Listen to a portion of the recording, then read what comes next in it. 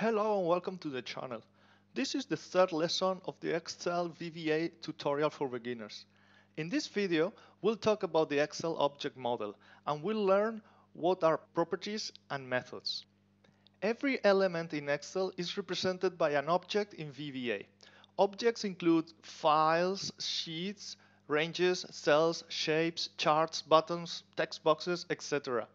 VBA can get the attributes and state of those objects, as well as modifying their attributes and state through properties and methods. A property is an attribute of an object or an aspect of its behavior, such as color, size, etc. A method is an action that can be applied to an object, like for example, open, copy, etc. The general VBA object structure uses a dot or a period as a separator between the object and the property or method. So object.property or object.method. Let's see an example to understand this. Imagine the object is a car and we want a red car with two doors and 200 horsepower engine. Uh, those are the properties and we would assign them like this. Car.color equals red. Car.door number equals 2 and so on. And if we want the car to drive or to stop driving we could write something like this and uh, uh, car.drive or car.stop and these are methods. Let's see how that works with excel objects this picture shows some of the most common VBA objects. The application object represents the entire Microsoft Excel application. Within the application, there are workbook objects. You see here we have three workbook objects, and each workbook has the respective worksheet objects, and then range objects and cells, etc. Now, let me close this and go to the VBA editor and show you how we write the object-oriented code. Let's insert a module and a macro. I'll call it object model. So, for example, if we want to refer to a particular range in the active sheet, we would write something like this.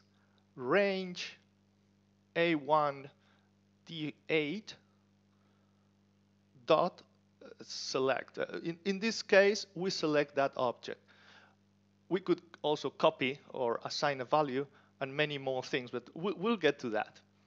Objects of the same type form or belong to a collection. For example, the workbook object is part of the workbooks collection, and the worksheet object is part of the worksheets collection. This means when referring to a particular workbook or worksheet, we need to reference the right name or index that represents it within that collection. So to select a particular sheet, let's say uh, sheet 1, we can use either the sheet name or the index. So let's do it here. Uh, worksheets sheet 1 dot select, or we could also write worksheets 1 that's using the index dot, dot select. Um, objects are arranged in a hierarchy that needs to be followed. In order to refer to a range in other sheet, we need to specify the path within the object hierarchy using the dot separator. So for example, if we want to refer to a range in sheet 2 instead, we would write worksheets sheet 2 dot range um, a1 to D8 uh, dot copy. For example, in, in this case, we copy the range. Or if that should always apply to whatever sheet is active, then we write active sheet dot range and so on. The object hierarchy can go even farther if we want to reference a range in a particular sheet of a particular workbook of the Excel application. So we would write application dot workbooks uh, book 1 dot worksheets sheet 2 for example dot range A1 to D4 uh, dot copy. So usually we do not need to reference the application because there's only one application. And workbooks, yes, if we want to reference a particular workbook. And if you want to dive deeper into this, you should know that an object is an instance of a class, which holds instructions for the object to operate. Excel comes with libraries of classes that set the basis to work with objects. Those libraries are part of the available references we can access in the VBA editor under Tools, References, right here. All classes and objects and their respective members, meaning the properties, methods, events that apply to them can be found in the Excel object browser, just clicking this icon here. Note that the methods are referred to as functions or subs in the object browser. As we saw earlier, we get or modify the attributes or state of objects with properties and methods. And actually, objects can also respond to events we will see that in a moment, but let's start with properties. Properties are attributes we can get from or give to an object. Some commonly used properties are uh, name, value, size, color, row height, number format, horizontal alignment, border around, etc. For example, the name property of the application object returns the name of the application we are using. So if we write msgbox application.name, we get the name of the application, and that's of course Microsoft Excel. Remember that properties can either get or give modify attributes. In this case, we just get the name attribute of the application object, and that's displayed in a message box. Let's see another example where we're going to give or assign a value to cell A1 and we will use the value property of the range object. So we write range a1 dot value equals 10, for example. So again, we are using the object dot property structure. But here, we pass or assign an attribute, the value 10. And what are methods?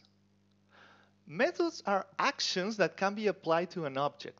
Some common methods are select, clear, copy, cut, paste, open, close, move, merge, add, delete, and so on.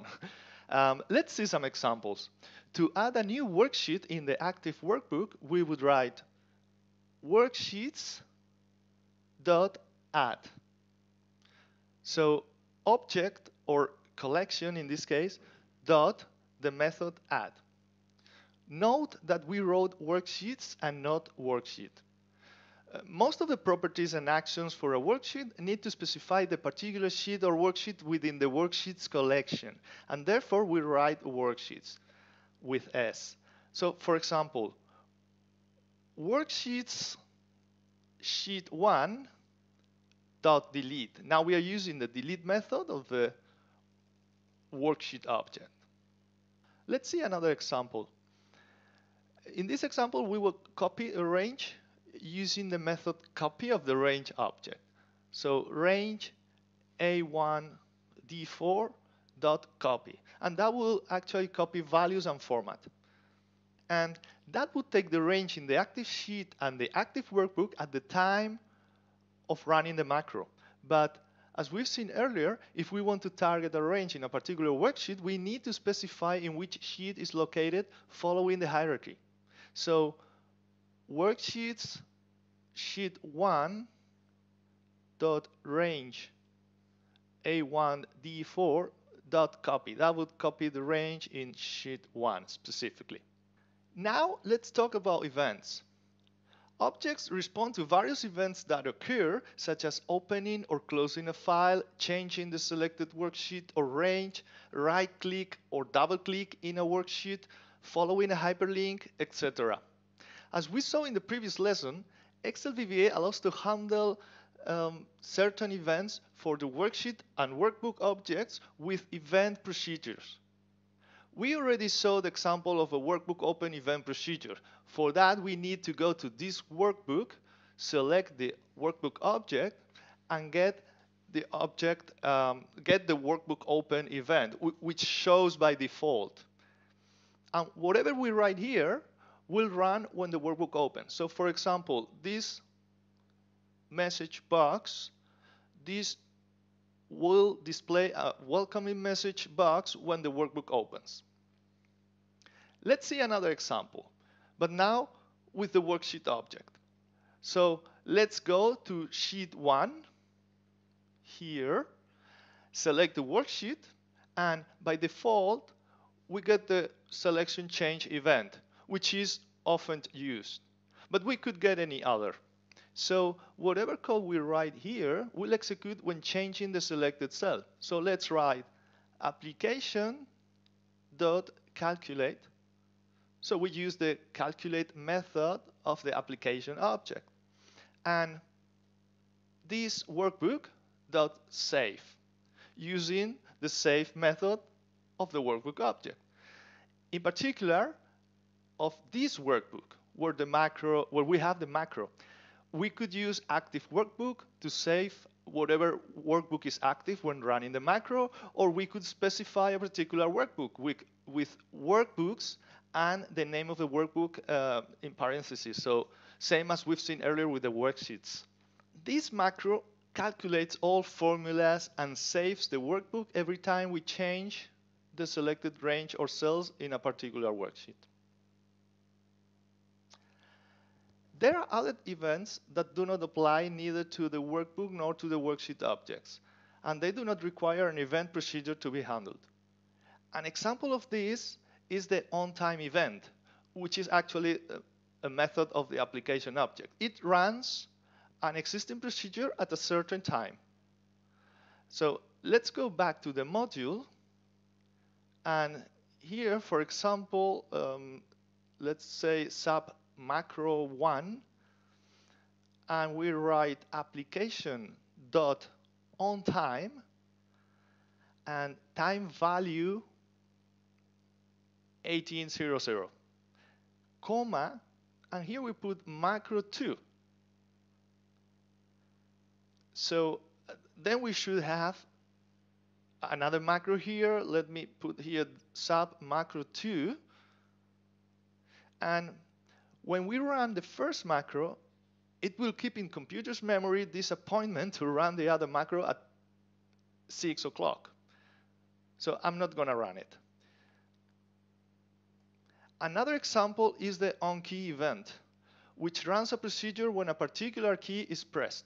So for example, let's say sub get keys, and with the application dot onKey for A, comma, another macro. Let's call it other macro. And here down we put sub other macro. Uh, let's put a message box saying you pressed A. And from the moment we run the macro get keys, pressing the letter A is associated with other macro. Let, let me play get keys. And now in my keyboard, I pressed A and here we get the message from the other macro. We can just stop it with application on key A. So I'm to remove that and play it again. So now it's gone. The last thing we'll cover is the with statement. The with statement is used to simplify object references. It requires an object qualifier to follow, and everything between with and end with refers to that object.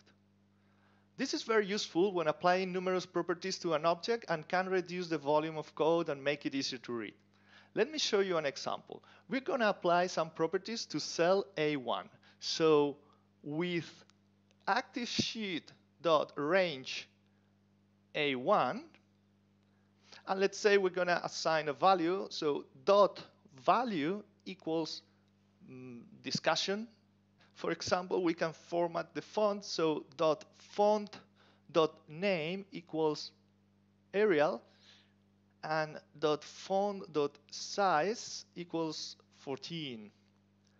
And here we end the with. So that would apply the code to that particular range. And that's it for now. We've covered the object model and learned what are properties and methods and events, and also how to use the with statement with objects. In the next video, we'll focus specifically on the range object. See you there!